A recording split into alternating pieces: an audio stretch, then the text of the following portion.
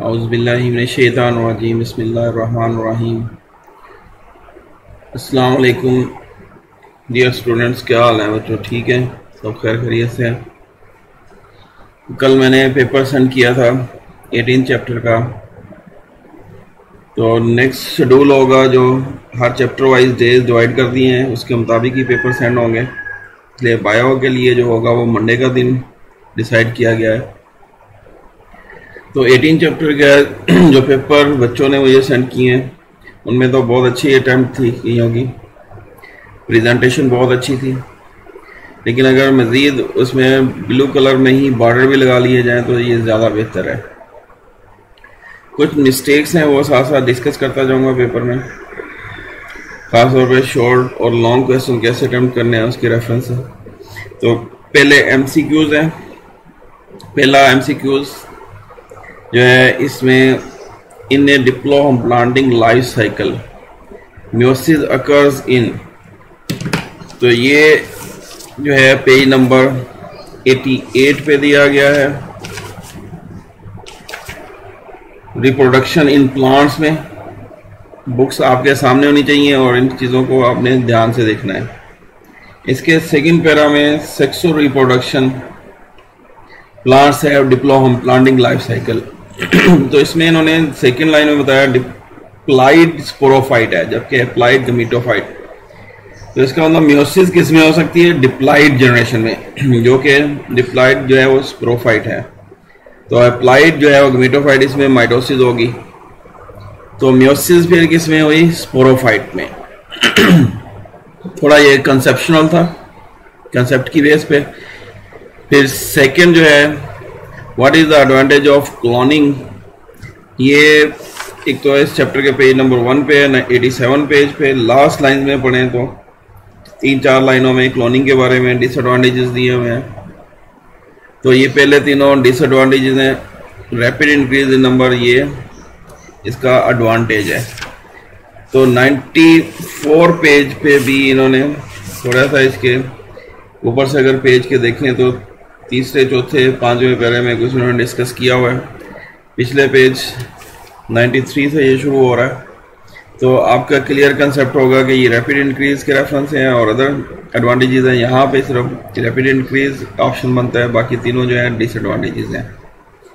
तीसरा M C Qs parthenogenesis occur दिन तो इसका रेफरेंस है पेज नंबर 93 पे। ए सेक्सुअल रिप्रोडक्शन के नीचे देखें तो ये पार्थिनोजेनेसिस का बताया हुआ है। इसकी सेकंड लाइन में इसकी एग्जांपल दी है एंस बीज वास तो वास वगैरह। तो क्या ऑप्शन बनता है? ऑल फिर फोर्थ एमसीक्यूज में no seed formation takes place in तो ये पेज नंबर 89 पे नीचे, जहाँ पे ब्लॉक से बने हुए हैं, नीचे देखें। पार्थिनो कार्पी इसी के फ़र्स्ट लाइन के एंड पे देखें। दस no seed formation take place तो ऑप्शन बनता है parthenocarpy. Fifth the cells of two celled embryo are called तो ये हमने पढ़ा है।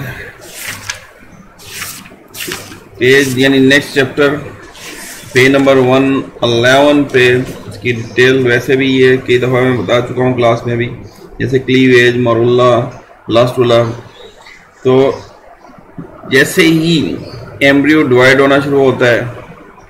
यानी पहले फर्टिलाइजेशन होगी, फर्टिलाइजेशन के बाद दो एम्ब्रियो बनता है। तो पहली जब डिवीज़न होती है तो सेल एक से दो में डिवाइड होता है तो इन सबको जो है ब्लास्टोमियर्स कहा जाता है। तो ऑप्शन ब्लास्टोमियर्स बनता है इसका।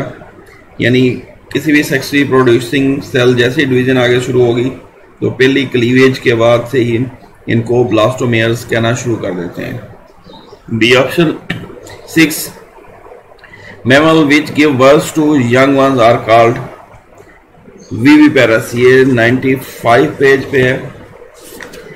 लास्ट में देखिए, बिल्कुल पैरे के, यानी पेज के लास्ट पे वाला जो पैरा है। और इसमें जो बर्थ किसमें होती है, सिर्फ़ मैमल्स में होती है। बहरहाल ये वीवी पैरस ऑप्शन बनता है ए फिर seven drone in honey bees twelve from ये पेज नंबर 93 में। यहाँ पे ए सेक्सुअल रिप्रोडक्शन है इसकी। नीचे तीसरी लाइन में देखे, आपको इसका आंसर मिल जाएगा। तो ये unfertilise sperms drone in honey bees develop from unfertilized egg से डेवलप होते हैं। 93 तो ये ऑप्शन यहाँ पे नहीं, बल्कि ये आना चाहिए। एग इस जगह पे ये ऑप्शन है इसका।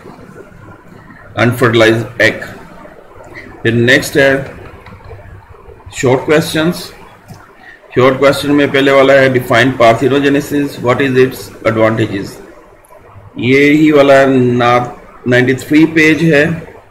एसेक्सुअल रिप्रोडक्शन के नीचे पार्थिनोजेनेसिस है।